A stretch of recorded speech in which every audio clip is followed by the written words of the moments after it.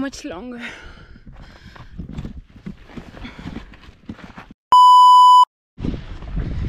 On my way to Valle de los Cirios and I'm already getting the real desert experience. For one, I'm alone, completely alone and yeah, there's already many different kinds of cactus. Cacti? I never know the plural for cactus. But this is supposed to get only better. Turns out it was only gonna get worse. I mean, the scenery was beautiful, you'll see it, but a series of unfortunate events made it really, really, really hard. Let's start at the beginning. This was supposed to be a 100 and something kilometer long ride where I would not see any towns or any opportunities for refill, so I had to pack all my food, all my water, and I thought I was ready, but I did not take into account that things could go wrong. So today the plan is ride all the way up and sleep somewhere and then tomorrow wake up and ride through the Valle de los Cirios.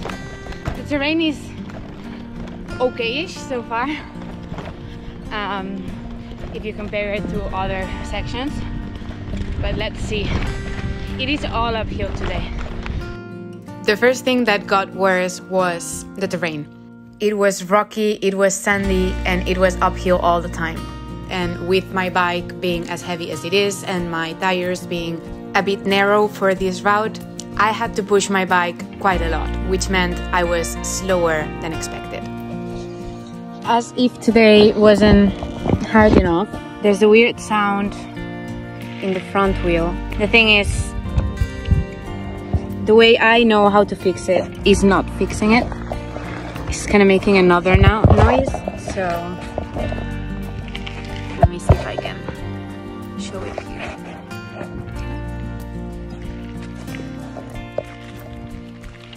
yeah so now this thing that I usually use to kind of calibrate how much space I want to leave between the brake and the pad is touching the spokes because it's too far out okay although it is in my nature to just not think about it whenever something's bothering me or something's wrong I cannot I cannot avoid this anymore. So let's try to fix it. Try. This was my second attempt at trying to fix whatever was wrong with the front brake. The issue was it was making a weird noise, but most importantly, the brake was not working. So whenever I would use the front brake, my bike would not stop. Fixed it. I knew I was short on time and I didn't want to spend all my daylight hours working on trying to fix something. So I kept going until it got dangerous. I started falling because I didn't have a front brake, so I stopped again for a third time and spent maybe two hours trying to understand what was wrong. The last time I had seen that one of the brake pads had fallen, so I had put a new one. And when I checked this time, again, one of the brake pads had fallen, and here I am trying to put a new one again and trying to do it better because why would it fall?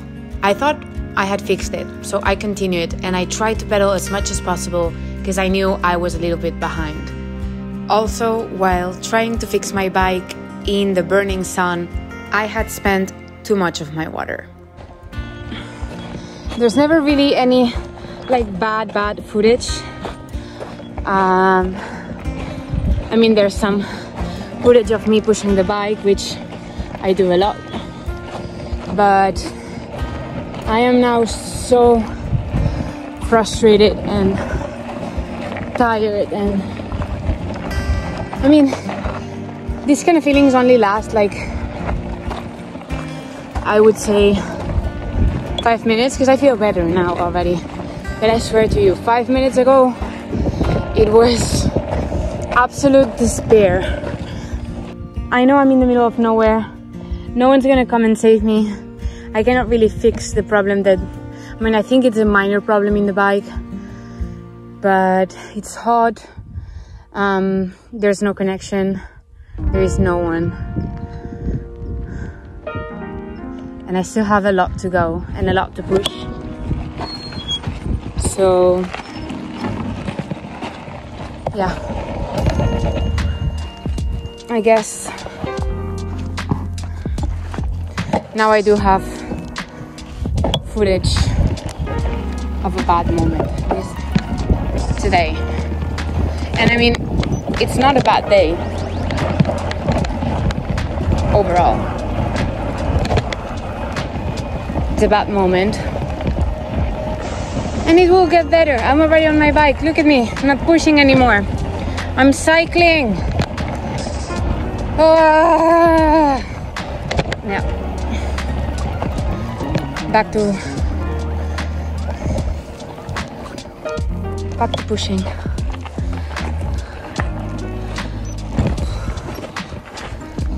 Okay. Need to get out of my head. I've got enough enough everything. It will just take longer. And that's frustrating. But it is what it is. I chose this. So no point in making it worse by constantly saying how bad it is. Let's go. Uh, sometimes it's hard for me to even push. Like, uh, I'm not even strong enough in my arms.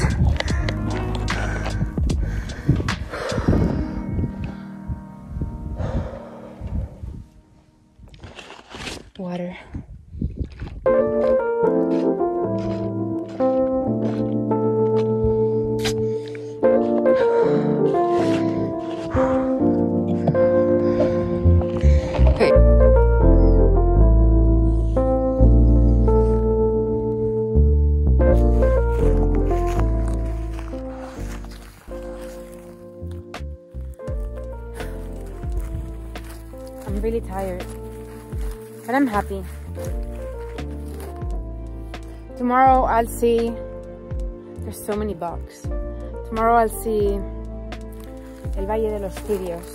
I wanted to get there tonight, but this is good enough. This is really nice.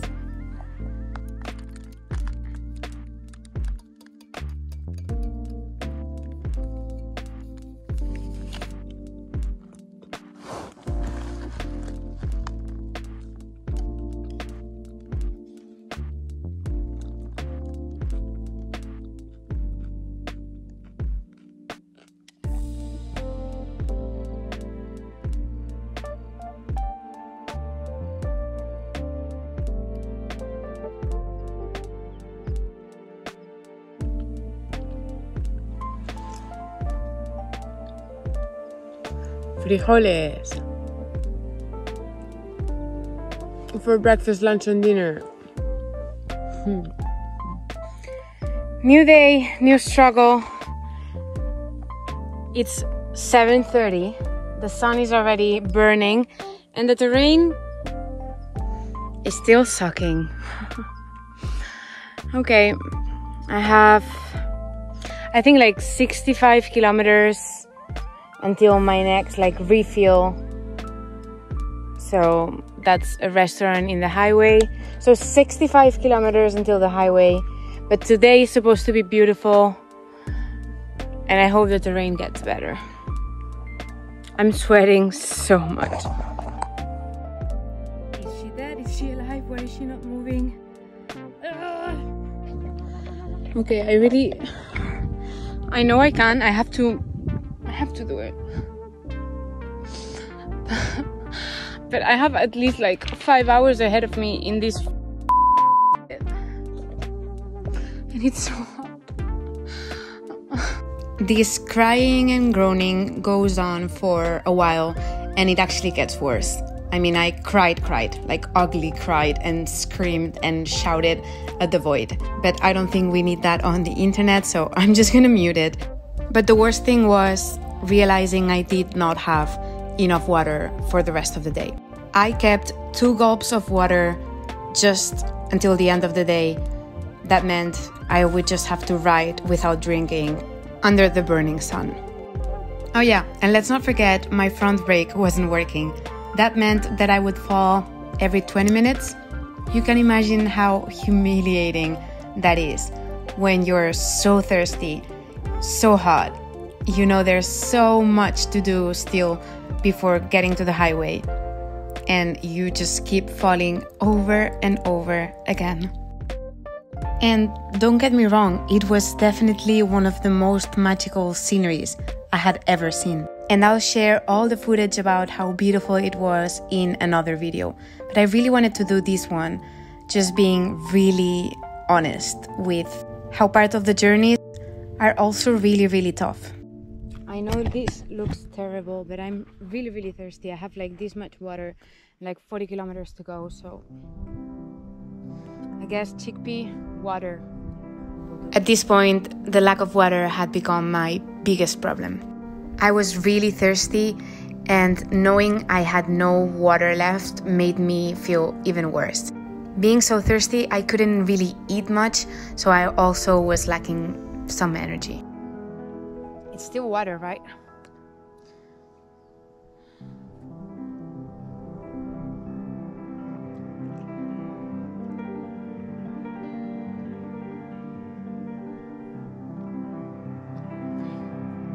Oh,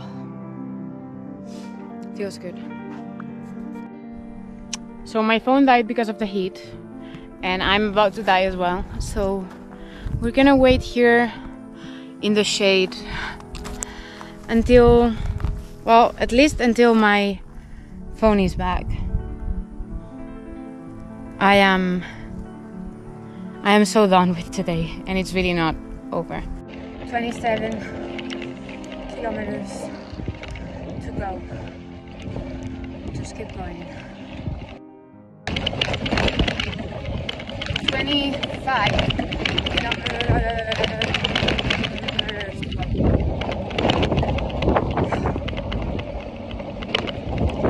Keep going. When I finally made it to the highway, I started hitchhiking. There weren't many cars going past, so the first one who said, I'll give you a ride, I jumped in. I think I had a heat stroke and I was definitely dehydrated. So when he said, Let me take you to the same place I'm going, San Felipe, I'm sure they can fix your bike in the bike shop over there. I did not think twice. I don't even think I checked the map. I was just in for the ride, happy to get my bike fixed, and just happy to be in a car with water. The problem is, San Felipe is way, way up north, so I was going in the opposite direction. I had made it out of the desert, so I was happy. I got myself a cheap hotel room and I just crashed for the night. The next day, I went to the bike shop, but the owner told me he could not fix what was wrong with my bike. Apparently, the issue was that the brake pads are held in place using a magnet that apparently had fallen from my caliper, so that's why, even though I kept changing the brake pads, they kept falling because the magnet was just not there anymore. I spent two days in San Felipe calling all bike shops in the peninsula and trying to see how I could find a new caliper for my bike. I've been chatting and calling and texting four different like bike shops around the peninsula. Um, none of them have what I need. Uh, but I just feel like I cannot just stay here. I, I kind of need to move. So I'm gonna go to one of the bike shops that has some of what I need and try to see if we can fix the rest. And then otherwise, then we'll just fix that little part and I'll just go to the next one. The other thing is, I'm very up north right now, so that means I have to hitchhike like five or six hours I'm always nervous before hitchhiking and such a long distance because I know it's gonna be a lot of time of me just like waiting and people being like, no, I'm just going down the road or I'm just going halfway. So it's gonna be a long day. I really dread them. And then they're not that bad, but to be honest, I really always get very nervous before doing it. I feel bad about asking and then it's just a lot of waiting and a lot of, I mean, it's constant rejection. You're just like this and people just pass you by. So, well, I mean, I cannot ride my bike, so it's it is what it is. I try to change my mindset. It's gonna be an adventure. I'm gonna meet new people. Who knows where I'll end tonight? Because maybe I won't make it all the way. So uh, maybe I'll have to sleep somewhere um, in between. Um, yeah, it's gonna be an adventure.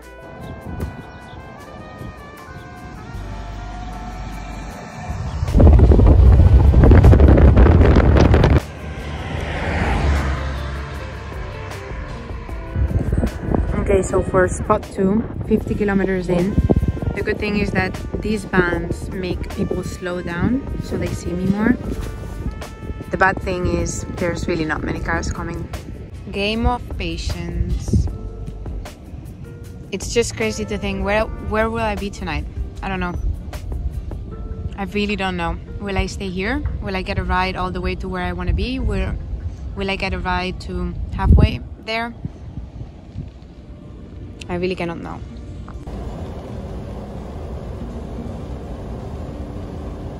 For my third ride of the day. Fumando espero al hombre que yo quiero. Okay, it's 3 p.m. And to be honest, if I have to stay here, like if in two hours I haven't had like I haven't gotten a ride. I can just camp here. And it's beautiful. So there's worse places. And there's like a, market. And I'm sure like over there I can find a place to camp and even swim. So yeah there's worse places in where to get stranded.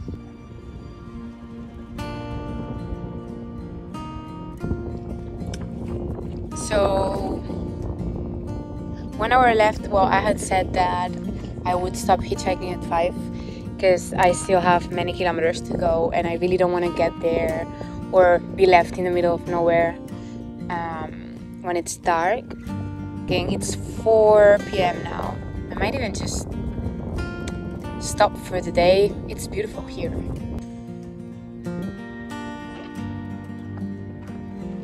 Okay, there's been no cars. Um, I'm just gonna go find a place to sleep tonight and deal with this tomorrow. Of course, there had to be deep sand before getting to a camp.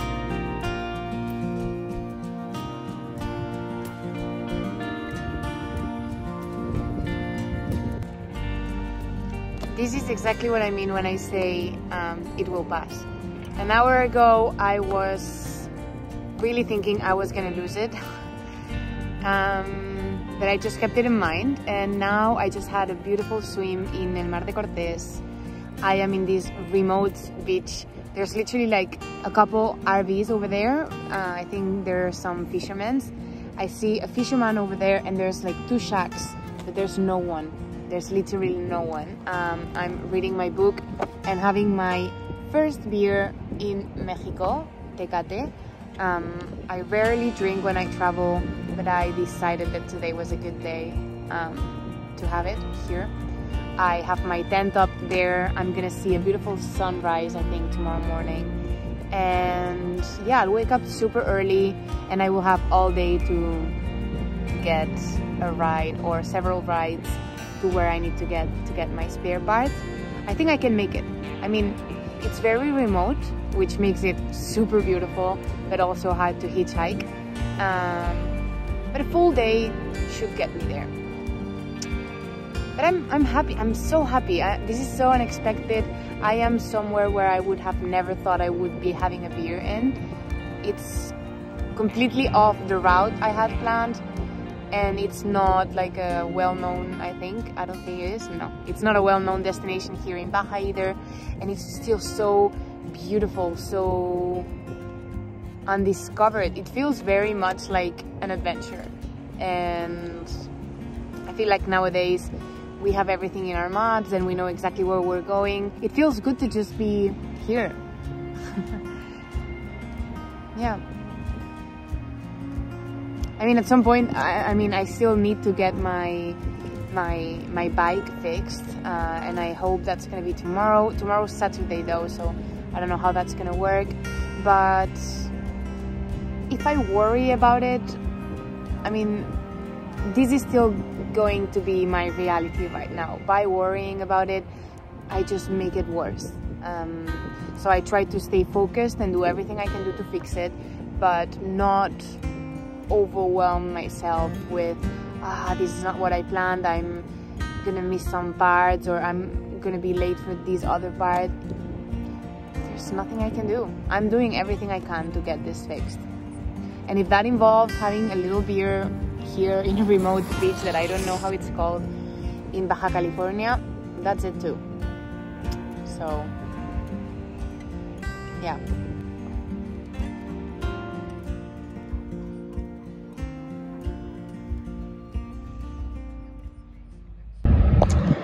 back where we were. I have such a sleepy face. I don't know if anyone's gonna give me a ride. But I have a full day ahead of me and 306 kilometers to go. It's been two hours and we're still here.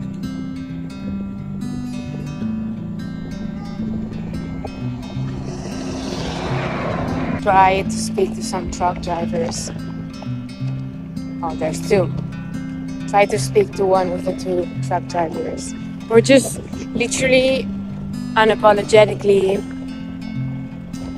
approach people and ask them, which goes against my whole personality.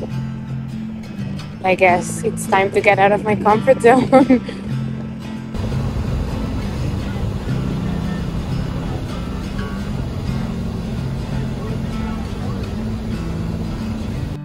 Okay, talking to the truck drivers was successful.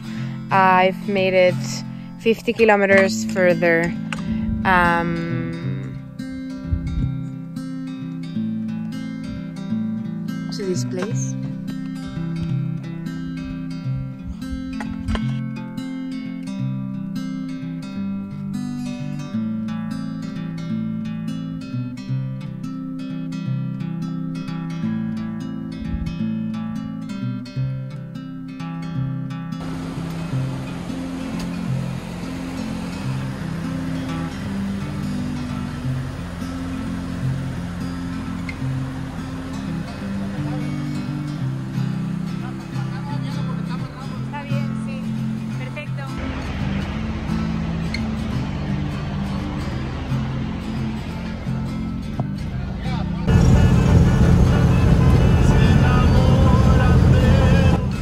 Once again, approaching truck drivers was the best solution.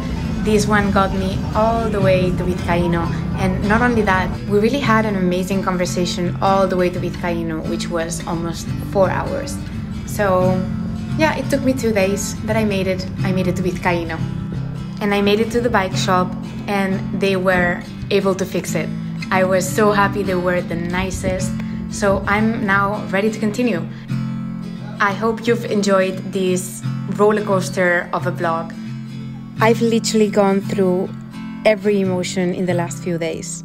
But it's all part of the trip, it's all part of the journey. Let's see what's next.